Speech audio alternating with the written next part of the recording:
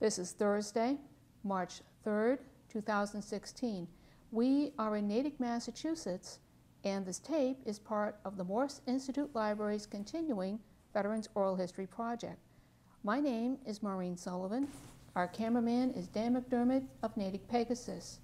We are privileged to have with us today George Perrone. Welcome, George. Thank you very much for having me here. Thank you. And this is a special interview. Uh, Mr. Perrone has conducted extensive research into his family's involvement with the Italian resistance during the Second World War. So we're going to start off with May I ask when you were born? I was born on June 11, 1940. And what special significance is that? That's very peculiar. It was the day Mussolini declared war against France and Great Britain. And uh, at that particular time, my father was working in a defense factory. He had been an American naturalized citizen, but my mother was going through the process of being a citizen.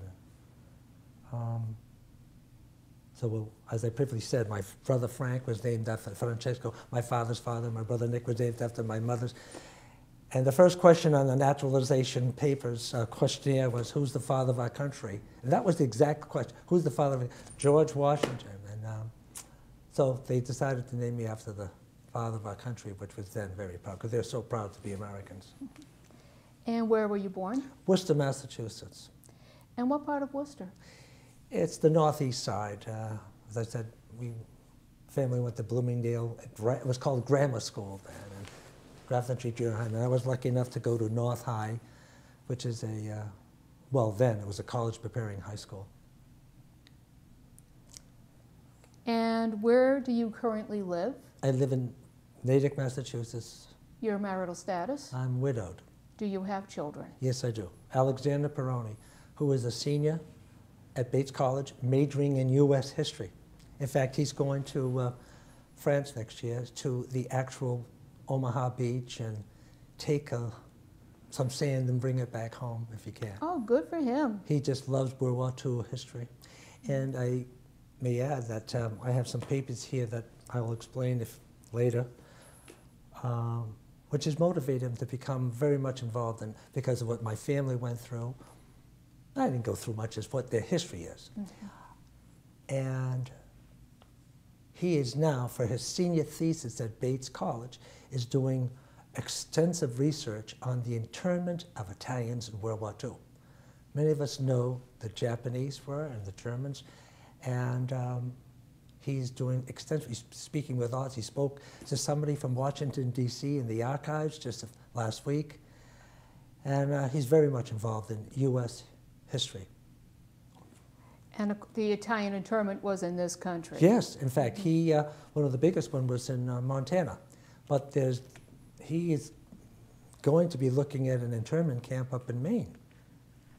And, and thanks to Carrie Holmes, mm -hmm. who's helped my son through his high school and now college years and, and helping him do research. Okay, let's get back to you, and especially to your parents and to your the relatives. You're first generation uh, Italian American. Your where did your parents come from? Okay, the name of the city or town was called Matera, M-A-T-E-R-A. Uh, this, it is the oldest living city in the world. Goes back to the Paleolithic period, which is quasi 40,000 years ago. And what part of uh, Italy is Matera? It's in the province of Basilicata, but back pre-World War II was called Lucania. But it's Basilicata, and Matera had actually two sections of it. The, the commercial area, a residential area, which is small, and then there was another section called I Sassi, the stones. That's where my father was born. He was born in an actual cave on straw. He kept warm at nights because he slept with animals. He had a scar on his forehead because got kicked by a goat or whatever was living in to keep him warm. That's tough times.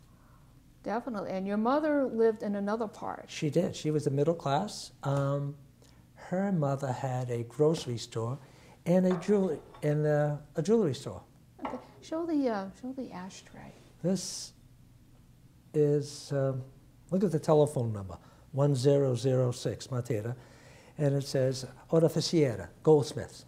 The reason why I brought this is because as I talk about this, this was a, an important part of what had happened during the resistance, that, that particular jewelry store. Now, your parents, of course, came, when did your parents come over to this country? 1928. So that is, Sorry. that's okay. So that is after Mussolini came to power. Was it, be, um, why did your parents come over to this country? Uh, several reasons. Uh, get away from fascist, i fascista, fascist Italy, uh, go to America to become uh, uh, educated citizens of the United States, opportunities, all of the above, as many of the uh, Americans have come here. And what, uh, who are the relatives who stayed behind in Matera? Well, this is funny because my mother really, if you were to think in economical terms, she came from a middle class family. Her brothers and sisters went to college. One of her brothers became a Dominican priest, which you can talk about that. Um, but she, she didn't want to go to college. She wanted to go to America. They went to New York, Ellis Island, and lived in the Bronx. And one of the reasons why they left the Bronx is one of the reasons why my son wrote this paper. It's about the Fascist League in North America. Wow. And there's a paper for anybody to read. It's documented here. Carrie Holmes has it on the lock and key. Um, the Fascist League in North America, when my father and mother get here, they're in the Bronx. Tough times, 1928, just a, and then the next year we have a depression, 1929. My brother Frankie was born there. At that particular time, my father, on one day, on one occasion, would have someone come up for them and say, Siamo fascista, we're the fascists, and we want you to contribute money to the effects of Mussolini in Italy. And on another occasion, Siamo mafioso, we're from the mafia. We want you to give money to us because uh, you may have an accident with your knees. Then my father's saying, Siamo in America, we're in America. This, I left Italy to come to this. As you can probably see, the Bronx was not the place. So he found an opportunity, and he was a violinist, by the way. He brought his violin in a cloth bag with straw in it. And that's why I became a musician, because uh, he influenced me through music, and that's another issue. So they moved to Worcester, Mass. Hopefully no more. Oh, no, Ah, no. We didn't have a, good. we didn't have a fascist league. They were in the larger cities. Boston didn't have as much as the New York area did either, so. but you're pretty much safe in Worcester. Did your parents keep in touch with their relatives? Yes, oh, to answer the original question, so Okay. my mother was from a middle class, so none of her relatives came here. Hmm. And you can see my father and one sister, excuse one sister, one brother, they were born in Nel Sassi, in these caves. And you'll see the pictures of these caves. They still exist today. What's peculiar now, as I have been going back to Italy for the past several uh, summers with my son and finding out what has happened to my relatives, and my, well, it's particular that my father, who was born in a cave, Nel Sassi in the Sassi, the quote is, the scourge of Italy is now the jewel of Italy. Because these caves are beautiful hotels dug into the mountain of marble and, and, and limestone. They're phenomenal, not all of them. And in, in 1955, the uh, Italian government closed the Sassi because it was just intolerable. Filth, decay, pestilence, disease. Um, now the city, Sassi is open, but a complete constrict, you know, uh, uh, command of what the government maintains for uh, cleanliness. So my mother was the only one from her family because they had no need to come here. They were of financial uh, uh, kept. My father, if they lived in a cave, I would leave too. All right, so you were born the day Mussolini declared war on Britain and France. Personally, do you have any memories of growing up during that period? Very little. My brothers and sisters, oh, so much older than I. I was just talking to my brother Nicky about Frank has died in the meantime. Um, he saved all the clippings and photographs of World War II, and it was an embarrassing situation for my family. Not as much as for me because I grew up in the 50s, say, but they were there in the throngs of World War II, and here we are, the Americans are fighting the Italians, and and as my son in his research, we found out the Italian Italian Americans was the high, the largest ethnicity of soldiers and sailors in World War II who fought against the Japanese and the Germans. They were fighting and dropping bombs on their cousins in Italy. As I did my research in Italy, my cousin, the people I spoke with, did not want any part of Mussolini. Mm-hmm. They didn't want any part of Germany and what they were doing. Um, they, they were delighted that Mussolini did create compulsory education, get the trains and buses to run on time, and uh, education and medical attention. Uh, Mussolini's biggest problem was um, unification because Garibaldi unified it in the 1880s. And then what Mussolini tried to do is unify the Southerners with the Northerners. And in many countries, the South and the Norths never get along. And, and he called the Southerners mezzogiorno, which means, it's a pejorative term. Mezzogiorno means afternoons. They go to sleep in the afternoon. They're not productive. So, Uh-huh. so I remember do, uh, did growing up, at the, more of my brothers and sisters of the pejorative names that were given to us because we were Italians. I'm not going to give all the names that we were given, but you probably know some of them. And it was a, uh, I felt affected by that. Um, and doing it, the, the greatest thing that I could have done was to become educated. And I was lucky.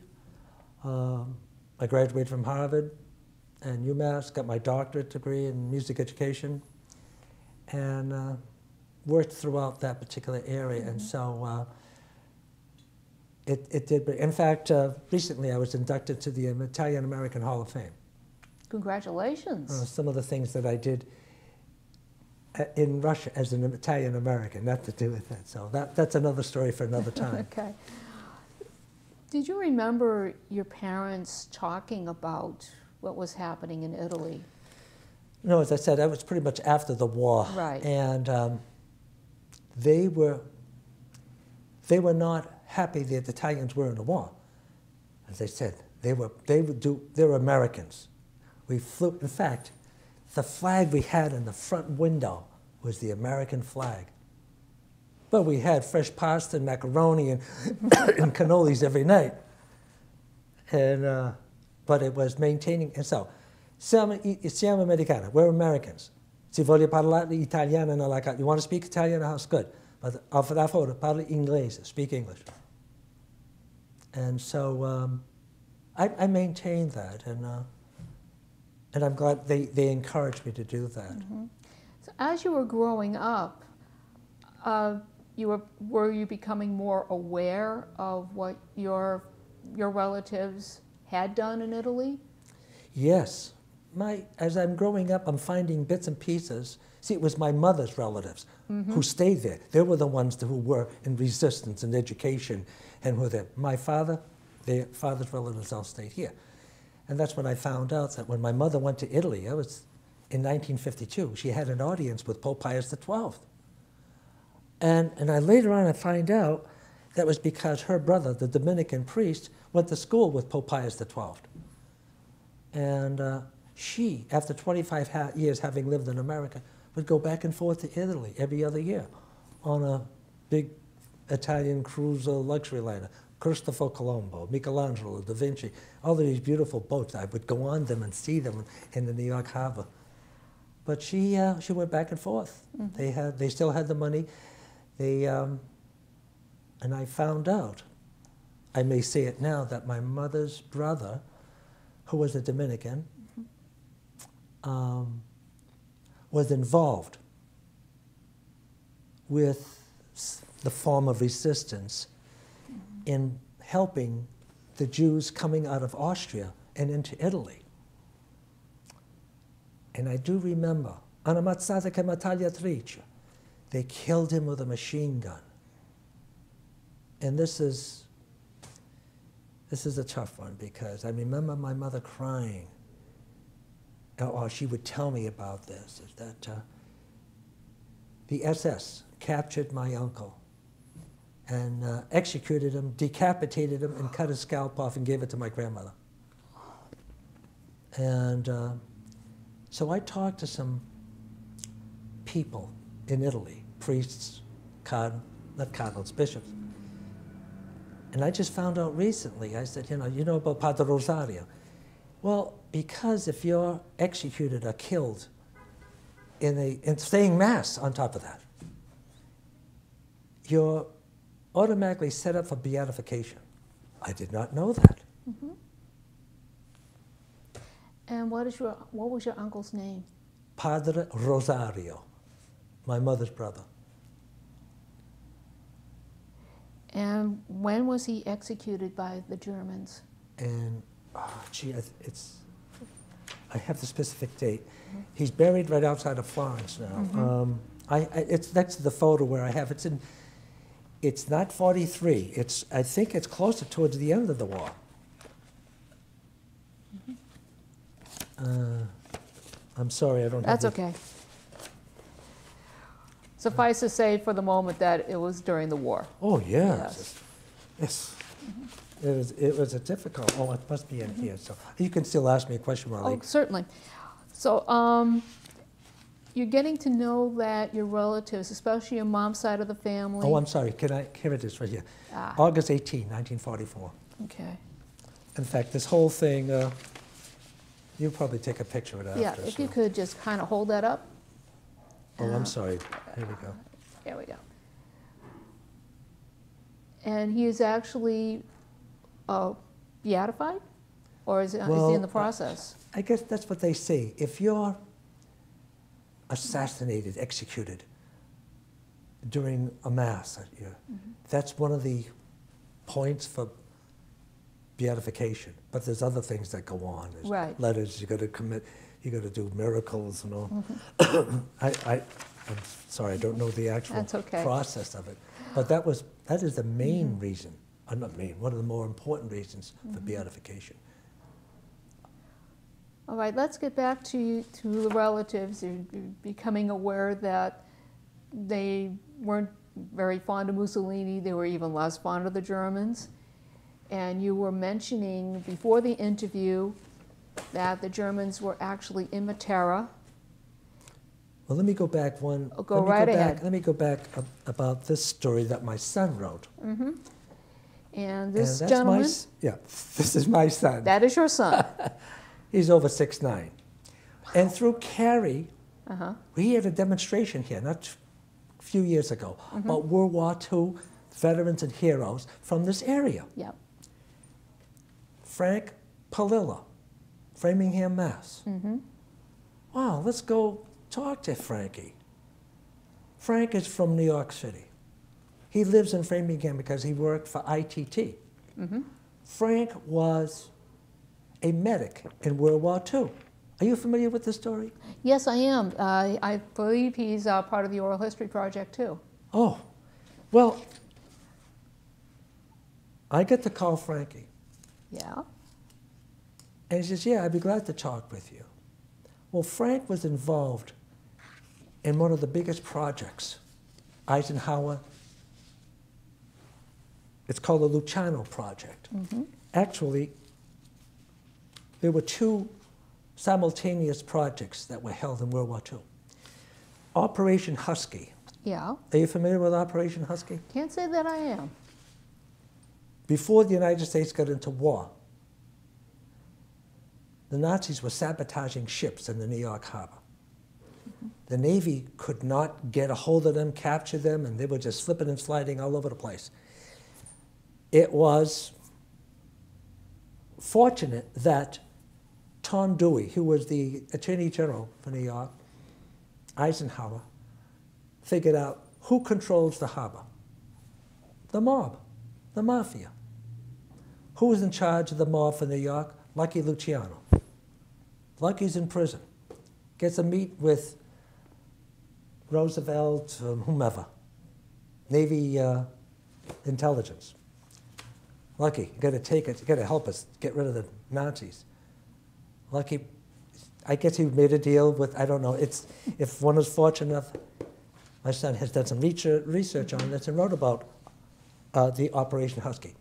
Got rid of the, um, I'm sorry, the China Project. Got rid of the, uh, the saboteurs. They were coming up out of submarines on Long Island, the, uh, the uh, Germans.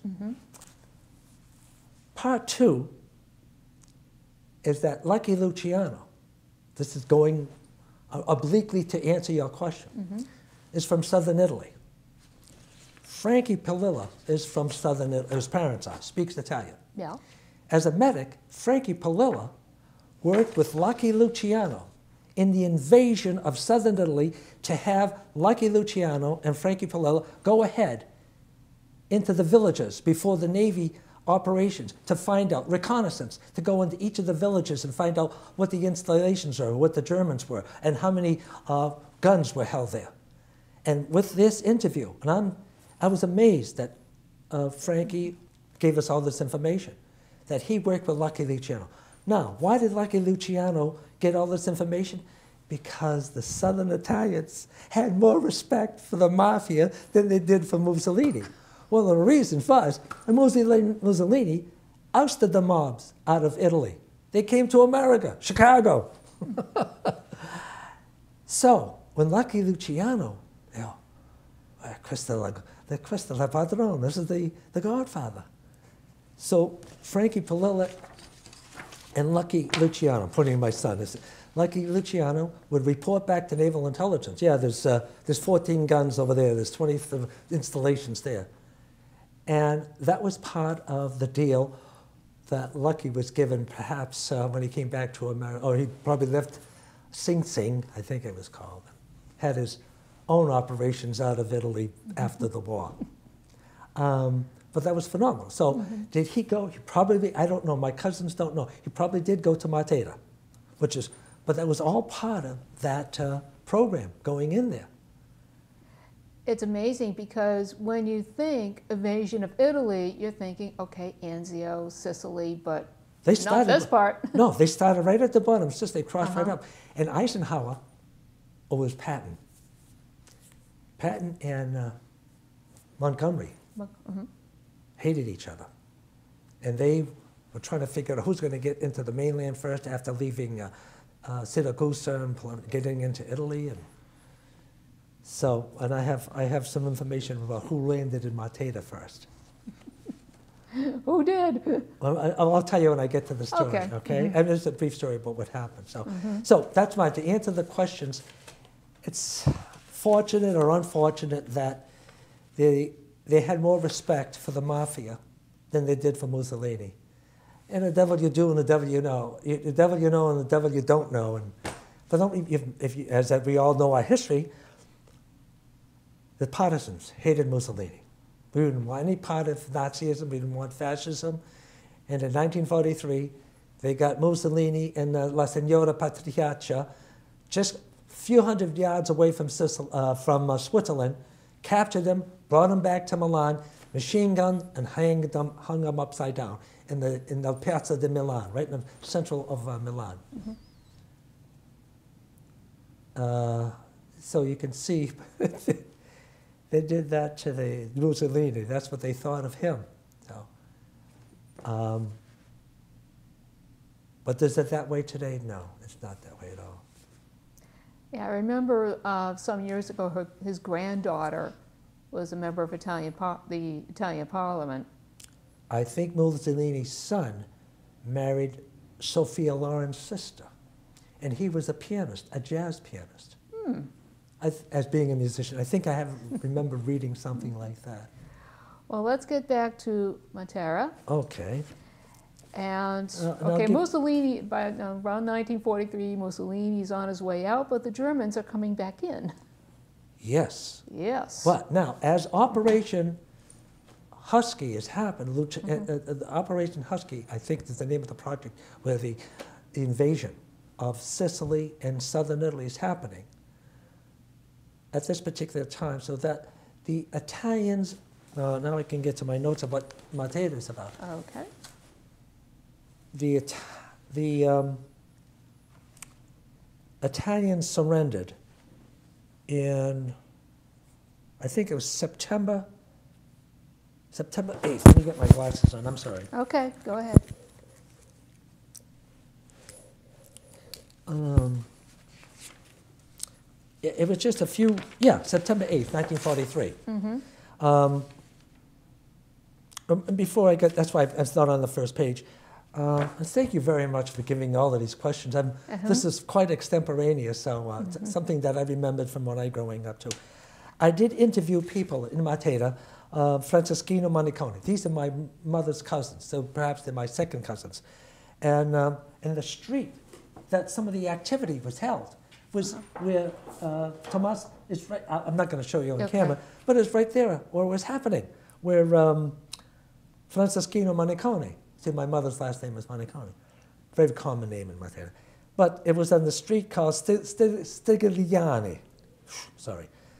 Stigliani, where the Sasso Barisano, where the, the, the, the oldest part of Italy is. And, um, um, and some Nazis were executed, uh, machine gunned by the Italian partisans. Matare. Now, the name for people from Matera were called i Matarani, Matarese. And um, so I interviewed uh, Tommaso Manicone and my aunt, uh, I'll call him Anna Manicone, and Aldo Montemuro, who owns a little inn. These inns are now, when I'm saying inn, they're in because they're dug into the mountain. and Donato Rizzi, who is a historian and an artist, and some of his works are in Rome and Padua and Berlin and London. Very articulate, very knowledgeable. And he was the one that was pointing to me where the Nazis were held up in the, the typical steeple of the church and shooting at the I Matarani camp, not too far from where we, I was staying, a few, a few feet, in fact. So in September 8, 1943, forgive me while I Go right Here's my notes. Um, General Pietro Badoglio, he surrendered to Eisenhower, allowing the Allied troops to land in southern Italy. Now, the southern Italy, I'm talking Calabria, Basilicata, Lucania, and Puglia. These are the southern provinces. Right after General Badoglio uh, surrendered, he went to Basilicata, Matera, and formed an anti fascist government. I don't think that was difficult because they, they was not so crazy about what was going on. Now, what was, while this was happening, the Nazis, no, they're being pushed up from uh, the Allied troops. So as they're coming up north, what are they doing? They're destroying bridges, highways, uh, hydroelectric plants.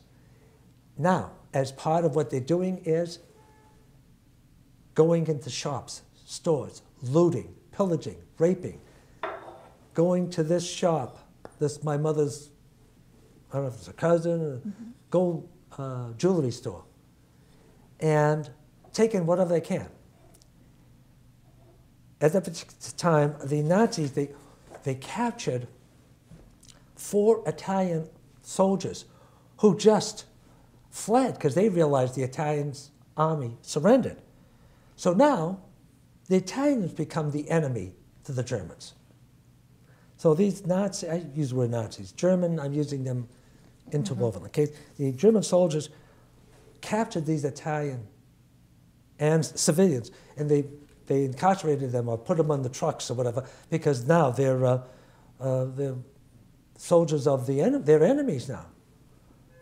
Now, the I- I Matarese, the people from Matera knew the Nazis were coming, so they're trying to do as much as possible to protect themselves, getting guns, swords, pitchforks, knives, whatever they can.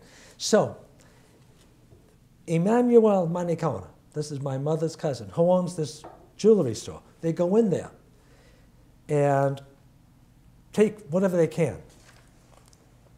So Emmanuel Manicona had an opportunity to kill a Nazi who Moments later, as soon as that, it was like the shot heard around the world. As soon as he started, when these soldiers, of Nazi soldiers coming in, he was firing at them. Then all of a sudden, the whole city, not whole city, well, whoever started erupting and going after these uh, German soldiers. And there were skirmishes. And then, and I'll show you the photos where the Nazis had pretty much gone, and they figured they could take the city over. They had a difficult time. And so, um, as I said, they were explosive. They, the, Italian, the Matanese prepared themselves. There were 15, if I remember, 15 Matanese killed. Mm-hmm. And uh, that was pretty much a skirmish for that one day. That day now is called September 20th, 1943. And uh, I will show you later on in maps. There are many streets, not too far from where I go when I stay in Italy, mm-hmm. that is called um, Via Venti Settembre same street that where my cousin owns the jewelry store. But that's where the skirmishes were held. That was held in una piazza Vittorio Veneto and Via Stigliani, right there in that street, very small. Nazis were overwhelmed. They've, now, as the Matanese are shooting at them, they hear the footsteps. Now, this is to answer your previous question. It wasn't the Americans. Uh oh that were coming up. No, no, they were Allied troops. Mm-hmm. It was the, I had to write this down, the Black Cat British Battalion and the 4th Canadian Renaissance. Renaissance, reconnaissance. To get this Renaissance up. So it was Canadians and the Black Cat Division that came into Matera. Uh, because of all this. No, these, they're flooding north. They're going, they're running. They're not, Germans are running out north. Matera was the first city to form a formal uprising against the Nazis. And on September 20, 1966, the Italian Minister of Defense, Roberto Tremoli, awarded the Silver Medal to the people, Silver Medal of Valor to the people of Matera. And my cousins were involved in that. Emanuela, my mother's cousin, my cousin, involved. Now, the city has been opened up. Throughout Europe, and maybe throughout all of America, there's an annual election for assigning one city a year to be the cultural city of the world. The year 2019, Matera is the cultural capital of the world what it has gone through since its Paleolithic period, it's nice to walk down some of those streets. There are fig trees growing and very easy for my son to pluck down some figs and eat as we're walking. and walnut trees and castagna, chestnut trees and lemons. And what I'm hoping as now, I said, my cousin owns one of those hotels dug right into the mountain. I just hope it doesn't become a commercialized city. I doubt it. Mm-hmm. Maybe the, the, the non historic part. Mm-hmm. The city is a, is a classic city. Um, 12 years ago, Mel Gibson filmed The Passion of Christ, is Passione di Cristo. They filmed The Passion of Christ. And when I was there last summer, they were doing some takes for the second of um, Ben Hur. Wow. You take a look at that city. It's just. And I understand some of your relatives were yeah, extras. They were extras. Oh yes, and that reminds me. As, as I said to you, mm-hmm. we were all gathered around for a co- no a cappuccino break. mm-hmm. It gets dark. Lightning struck the cross that they were using on the set, and my cousin. I know. I remember the, getting back to me phone calls we're only making a movie. This is this is this is only a movie this time. So, when you were talking to your relatives about when uh, when the uprising took place, did he say where they got their weapons from? Oh, they all had them. They uh-huh. they hid them on the vats of wines and things like that. And, mm-hmm. oh, they always they always knew. They knew that it, the Germans were inevitably never going to take over Italy. And so they did have, they probably confiscated them when the Nazis originally came through originally, and but they held up a resistance. I said this was the first city to defeat the Nazis on its own without Allied troops. Amazing. Did they um, have, um, have any other stories about what it was like uh, during the war? It was it's a clandestine environment. Mm-hmm. Cloak and dagger, just couldn't speak because they didn't want to be occupied by the Tedeschi. Mm-hmm. Tedeschi, uh, it's, it's the Germans. And uh, hiding. When Frankie Palilla and Lucky Luciano went into Matera, small they were dressed as civilians, like uh, uh, laborers. And I remember Frankie saying, he was there. And these guys had got boots all the way up to the neck. They're walking into there. And they were just scared. They were, guys were ruthless. They didn't want any part of it. Italians, they were not this militant uh, uh, environment.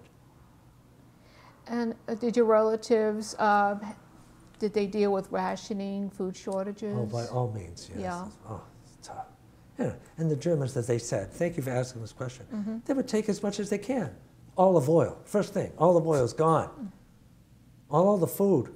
Matera is known as the best bakery bread maker in, in all of southern Italy, probably all of Italy. Bread is phenomenal. In fact, one of the bread companies is called Peroni. So you have the photos. Uh, let's, uh, let's get a little Um, visual aids in here. Oh, um, okay. Um, shall I? These, these are recent pictures. Uh, last summer, Right. or August. So, uh, shall I explain what this is? Yes, uh, you were mentioning where Okay. the Nazis no, were. where I'm taking this picture is from my hotel room. Uh-huh. Uh, the name of the hotel is Hotel in Pietra, the hotel in the stone, in the, in the mountain. And I'm taking the picture. You can see there are some people living in here and uh, things like that. And uh, Donato Rizzi, the, who is the, one of the historians, as I, this is his place right here. That's it. Okay. Okay? And there were some Italian partisans right in front below this wall. By the way, this is a descending Yeah. send all the way down to the bottom and then it comes up. It takes about maybe 10 minutes to get down here, maybe about 15, 20 minutes to get up. But the Germans were up there. The typical snipers shooting at whatever they can see, whatever partisans they can see in Matera. This room where I'm standing, where I'm taking the picture, is the hotel that I'm in, what my cousin owns. Okay, uh, can I move on? Go right ahead. Uh, uh, and then here's my son standing. Uh, as you can probably see, the roads are going down to the center. And uh, his walking throughout this is quite noticeable. You know? Yeah, at six nine, you would be. Uh, and then again, here, and this is one of the places where these soldiers were hold, holding up and trying to shoot us whatever they can. I'm surprised, didn't they realize that the, they knew that the British and Americans are coming up, but they tried to, and this is what, tried to steal and loot as much as they can. Uh, that's nasty. Very. Um, oh, and this is my aunt. She was one of the storytellers. She was a former school teacher. And uh, again, my mother's relatives, they were educated. They went on to schools, uh, and school, colleges. Whereas my father didn't, uh, none of his did. Did she have any particular stories about? No, she was probably eight years old at the time, nine years old. Um, now, this, he is my mother's cousin. Uh-huh. That's it. This is his house, which is right here in this street. Via Stigliani was one of the skirmishes. Wow. So did he remember? No, he's probably hiding, he said, underneath. And Can't he- blame them. can't blame him. And I talked to his older sister, and she did it, but she was so frail, she didn't give me any stories. And so, but um, he gave me some stories. Nino, that was his, that's his, that is his name. Now, Donato Rizzi, he's a uh, well-educated author, author, historian, artist. He gave me some of the stories where, in fact, this is where we're sitting right now, where the Nazis were shooting at, this particular wall, right in here. And he owns that, uh, that, uh, that house, that apartment. And you can probably see, this guy's almost six feet tall. Yeah. And, and this is where he's explaining to us some of the historical facts, and we were sitting there. I would, in 1943, I wouldn't want to be sitting there.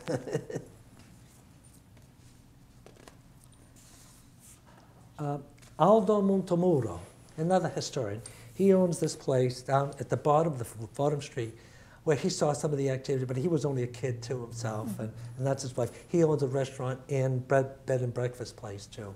So we try to get as much st- history as possible. Um, this is uh, my, my mother's brother, Yeah. the Dominican priest. Um, I don't know the, the effects of what's happening today and what's go, what, how he will be doing, but um, I've shown this to uh, the priest here. At, in fact, Father Mike at St. Patrick did the Mhm. translation here for me Oh, wow. what it says here, and he was Mhm. impressed. So Father Mike was the one that gave me the English translation. Uh, this is my son at the church. Uh, il chiese di San Pietro San Paolo, and you can, in Matera. Um, again, the church. And, and, and, that's, and these are just some of the extra photos of, of Matera. As I said, it is now becoming the jewel of Italy. It's just Mm. clean, Beautiful. polite, uh, sane, not, not too many tourists, no American tourists, Mhm. um, maybe from Germany, Sweden, coming back. Um, but the place is just, I guess, semi-tropical, Mhm. cactus, olive trees, palm trees, lemon trees, but not full tropical. They'll have a winter with maybe every other year a, Mhm. a quarter of inch of snow on the rooftops. But that's it, Yeah. you know. So, George, uh, talking more about your Oh, relatives. sorry, I digress. That's okay. That's all right. Uh, were they um, members of the Communist Party, or were they? no, would- but my father, I remember my father reading Uh-huh. a journal, weekly, Il Progresso. Mm-hmm.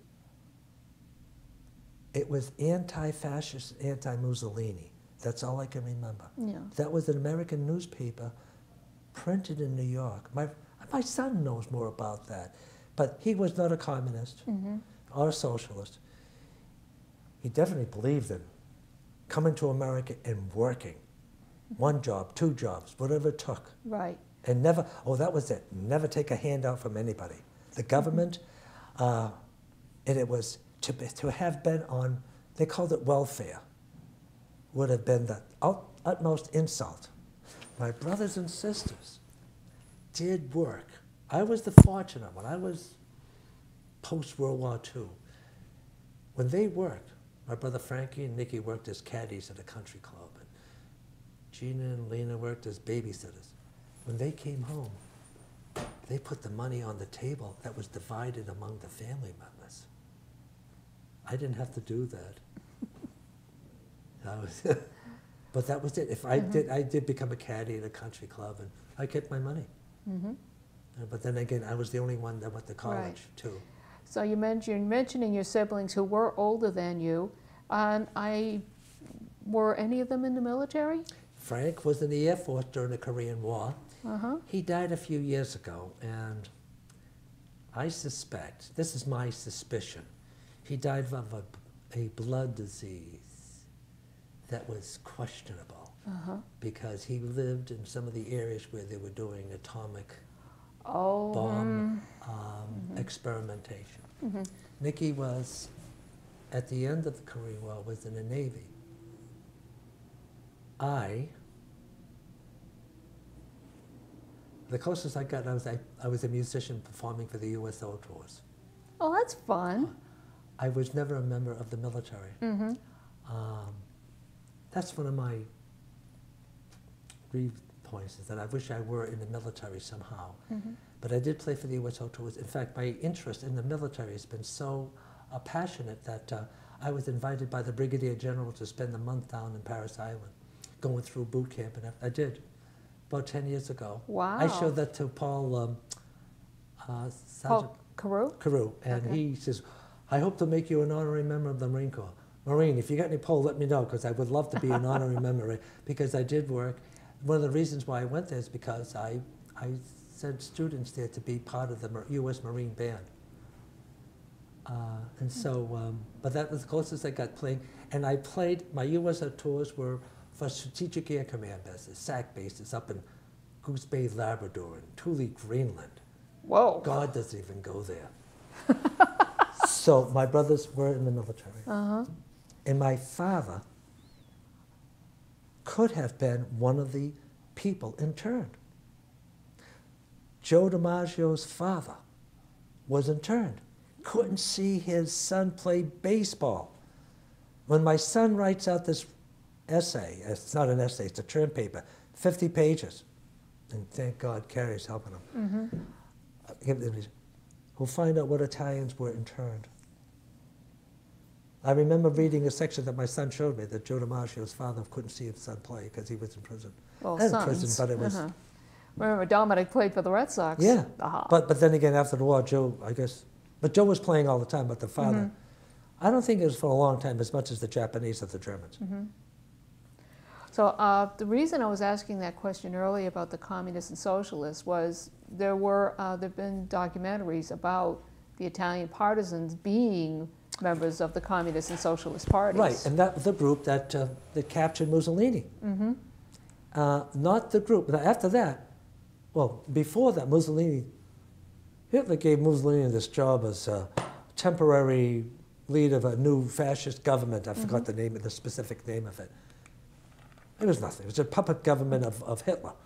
So, but it was the, the specifically the communist partisans that got my parents.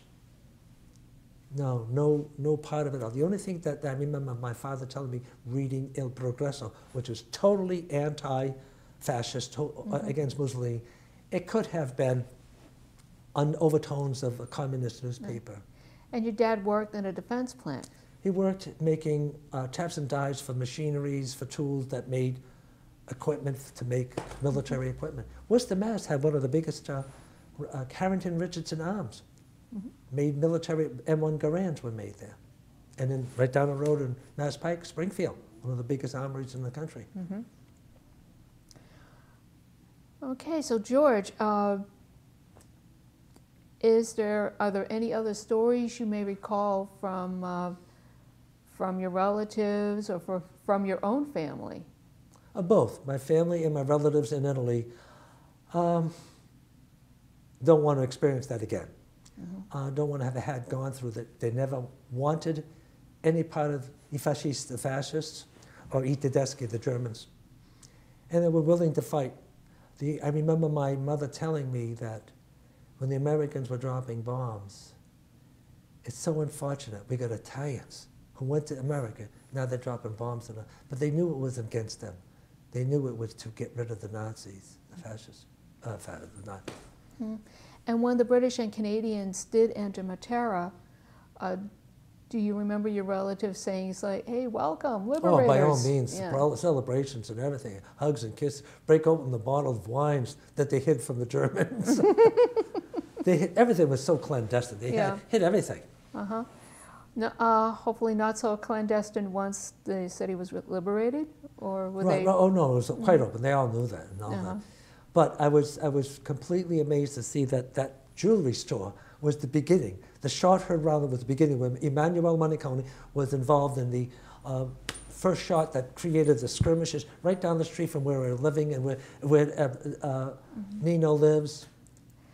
And do your relatives remember the end of the war itself?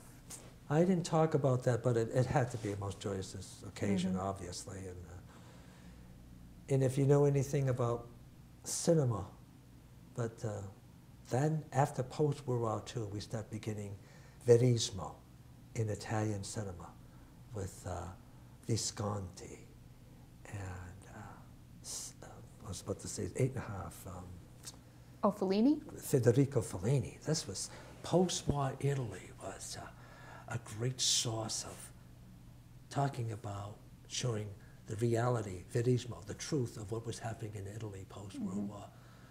And I think I've seen so many. And one of my greatest movies was by Lina Wertmüller. It was called Sette Bellezza, about how Italians were imprisoned by the Germans. The, Itali- mm-hmm. the Germans imprisoned the Italians. And I say, well, are we on your side? It didn't matter. Now, I remember seeing two women with Sophia Loren. Oh, okay. Yeah. Yeah, and so the Italians were just totally, as they said, my, and I learned, totally mistreated. Hitler basically said to Mussolini, You're on my side, otherwise I'll take you over anyway. I'm taking it over. and and it, the cultures of the Italians and the Germans are it's completely opposite. So, George, is there anything else you'd like that, to say? That's it. Um, Maybe perhaps I'll talk to you about my experiences in, uh, in Russia. I was, and I lived there, and Mhm. having been the first American to conduct a new Russian national anthem through the yes, in, when it when it changed over from the Soviet Union, and I conducted this in the Hermitage in Russia, St. Petersburg. Oh, that there. must have been a sight. Oh, I went so many times. And I know the Hermitage is one of the more beautiful buildings. The most. I've been to the Jeu de Paume. I've been to the Louvre. I've been to the British museums, the the uh, museums of the Vatican. Wow. Yeah. Have you been to the? Hermit- Never, never have, but uh, I've Wow. been to the British Museum. Yeah. Well, this I've been to all of them, and the Hermitage and the uh, Palace of Peter the Great, in in um, just outside of center St. Petersburg, in Petrodvorets, hmm as I conducted concerts at the Sun Palace, and I lived with people in the military. uh We'll talk about that some other Yeah. time. That was so exciting because I was involved in perestroika in Glasnost myself as the Russian government is trying to grow itself out of the Soviet Union. hmm And certainly beats a USO concert in Greenland. Oh no, that was done. This, this, that, was that was during February. no, Tad brutal. no. I want to thank you very much, Maureen. I want to thank you very much. You had some fascinating stories, and want to thank you and uh, for coming by and recording your experiences for the Veterans Oral History Project. Thank you very much. And if anybody's interested, these papers written by my son uh, that Carrie thought was so important to document it here about how Lucky Luciano hmm and the mafia helped defeat the Nazis in World War II. Fascinating stuff.